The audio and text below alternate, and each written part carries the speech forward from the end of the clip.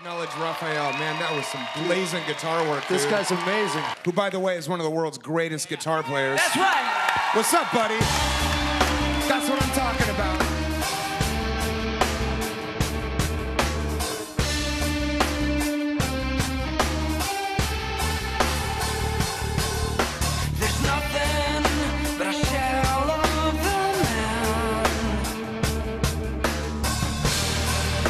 It's just a and born.